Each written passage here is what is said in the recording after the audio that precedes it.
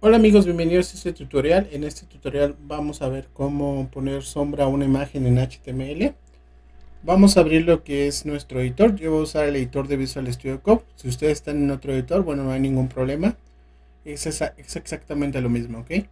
Vamos a crear lo que es una carpeta. Yo la voy a crear en esta ubicación. De nombre lo voy a poner como página. Esto nada más es para tener mis archivos ordenados. Voy a arrastrar hacia mi editor. ¿Ok? Y bueno voy a cerrar aquí y voy a empezar a crear lo que es el archivo de el archivo de HTML le voy a dar aquí new file pongo index.html le doy enter y voy a crear lo que es la estructura básica de un archivo HTML5 voy a venir aquí voy a poner HTML elijo el del medio y se crea lo que es la estructura básica de un archivo HTML5 aquí le voy a poner de título sombra este nombre es opcional, aquí lo pueden poner como ustedes gusten, ¿ok? Y bueno, aquí lo que vamos a hacer es lo siguiente. Vamos a poner una imagen aquí ya en nuestra carpeta. Yo ya tenía seleccionada uno. De nombre le voy a poner como IMG. Ustedes la pueden nombrar como gusten. Y vamos a abrir lo que sería nuestro archivo. Voy a darle doble clic. Y se abre lo que es nuestro archivo. ¿Ok? Nuestro archivo de HTML.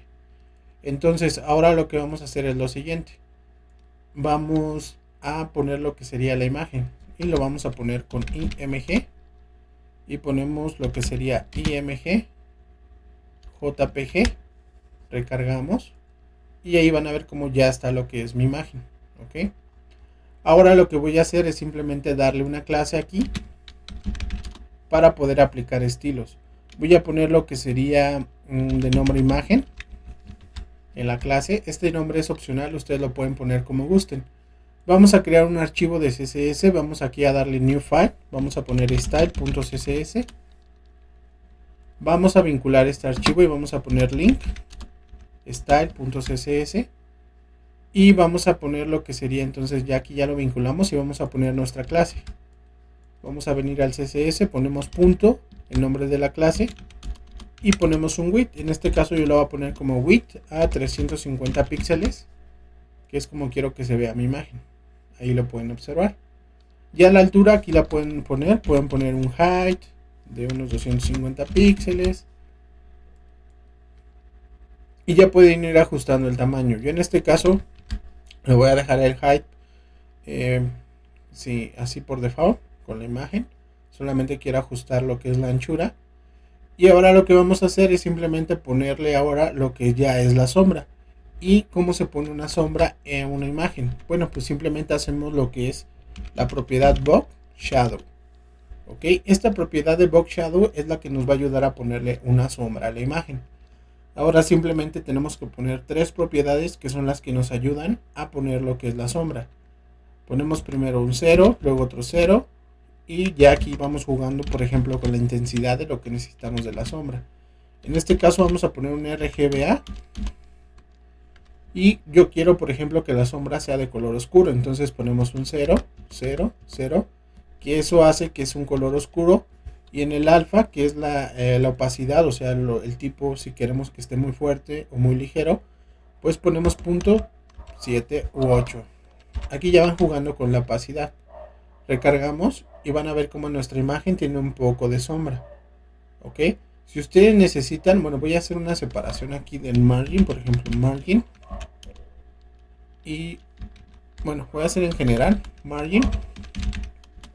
Recuerden que primero es la opción por ejemplo podemos poner tanto arriba y abajo izquierda y derecha. O podemos poner primero por ejemplo si ponemos la primera opción 50 píxeles esa primera opción es top la segunda sería izquierda, 0. La tercera sería el, el botón hacia abajo. Y la cuarta sería a la derecha. En este caso queremos que esté unos 50 píxeles. Recargamos. Y ahí pueden ver cómo ya se separó. ¿ok? Entonces recuerden top. Luego sigue left, bottom y right. En este caso, perdón, el último es left, aquí es right y left. Entonces, aquí ya tenemos lo que ya es el margin, ya la separamos un poco. Y bueno, esto es la intensidad. Ok, aquí vamos a jugar ya con lo que necesitamos. Por ejemplo, si queremos más intensidad, 50 píxeles. Ahí ya tiene una sombra más fuerte en nuestra imagen. O también podemos agregar en el segundo y en el tercero. Si lo dejamos en el segundo, ven cómo ya se va, se va ajustando un poco mejor. 20 píxeles. Recargamos. Pueden ver cómo se ajusta ya esa sombra. Y este de aquí, bueno, es la intensidad. Aquí pueden jugar, por ejemplo, pueden poner un, un 1, que sería como el 100% van a ver cómo ya se ve mucho más fuerte la imagen. Aquí, bueno, pueden dejarlo en cero, recargar. Y ven cómo ya se centra la sombra. aquí, bueno, pueden poner un 20. Y se va hacia abajo. Ok. Y bueno, ya aquí es cuestión de que ustedes vayan jugando. Si no lo quieren tan fuerte, pues pueden poner 1.5. Y se, y se baja la intensidad. Entonces ya es cuestión de que ustedes lo necesiten. También pueden jugar con el color de la sombra si necesitan uno más fuerte. Un color morado. Pues ahí está el color morado. ¿Ok? Entonces espero les haya servido. Así es como nosotros ponemos una sombra, lo que sería en una imagen. De esta forma, con el Box Shadow, poniendo las tres propiedades. Que eh, esta es la primera, es la que la centra. Esto es hacia arriba y abajo. Y esta de aquí es la intensidad, ¿ok? Entonces Gracias por ver el video, no se olviden suscribir al canal y gracias por ver el video. Bye.